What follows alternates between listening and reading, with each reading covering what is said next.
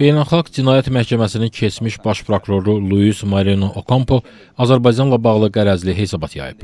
O hesabatında ənənəvi mövqeyinə sadiq qalıb və Azərbaycanın öz sərhədlərini mühafizə etmək üçün atdığı addımları yanlış istiqamətdə şərh edib.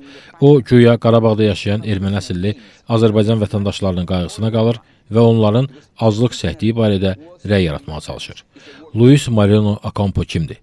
O hələ 2010-cu ildən Azərbaycan və Türkiyə əleyhinə bəyanatları ilə tanınır və qondarma erməni soyqırımı təbliğatçılarından biri kimi çıxış edir.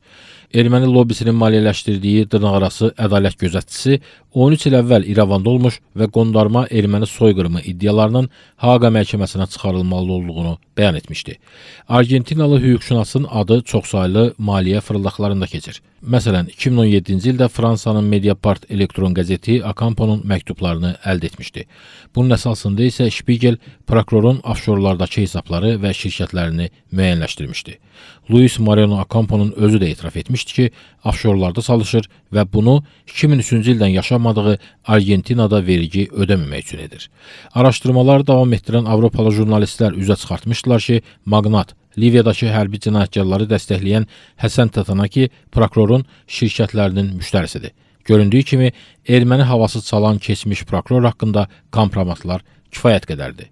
İndi bu kirli keçmişə malik sabiq prokuror hesabat yayır və öz sərhədlərini qorumaq kimi sadə hüququndan istifadə edən Azərbaycanı ittiham edir. Xatırlatmaq yerinə düşər ki, Luis Mariano Acampo Ermənistana səfər etmiş və o vaxtki prezident Serj Sarkisyanla görüşmüşdü.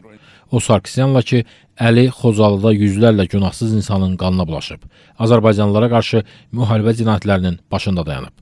O qanlı əlləri sıxan Beynəlxalq Cinayət Məhkəməsinin baş prokuroru indi haqdan, ədalətdən danışır. Beynəlxalq Cinayət Məhkəməsinin nizamnaməsinə əsasən Moreno Ocampo'nun vaxtı ilə tutduğu baş prokuror vəzifəsində işləyən şəxs yüksək mənəvi xarakterə malik olmalıdır.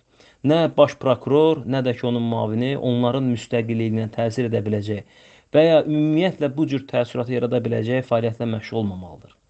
Almaniyanın Der Spiegel və Avropa İstintaq Əməkdaşlığı tərəfindən dərc edilən hesabatda isə bildirilir ki, Ocampo'nun dünyada xüsusilə çirki pulların yuyulması ilə məşhurlaşan vergi cənnətlərində şirkətləri var və vəzifədən ayrılandan sonra onun və həyat yoldaşı Elvira Buginin bank hesabına yüz minlərlə dollar vəsait köçürülüb.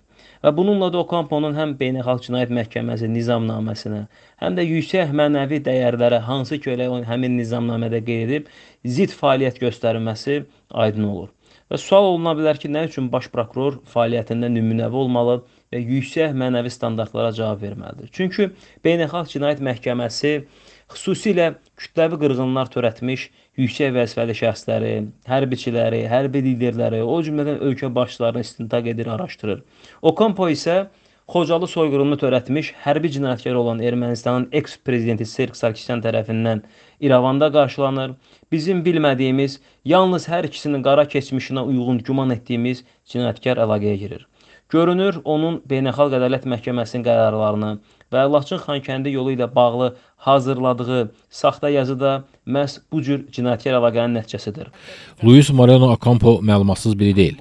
O ağılsız da deyil. Əksinə, ölkəsinin büdcəsinə vergi ödəməkdən yayınmaq yollarını tapacaq qədər ağıllı və hiləgərdir. Deməli, o, Laçın yolunda baş verənlərdən məlumatlıdır. Sadəcə olaraq, kirli keçmişli hüquqşünas Laçın yolunun fəaliyyəti ilə bağlı real vəziyyəti bilərəkdən təhrif edir və onu maliyyələşdirənlərin ödədiyi vəsaitlərin qarşılığını verməyə çalışır.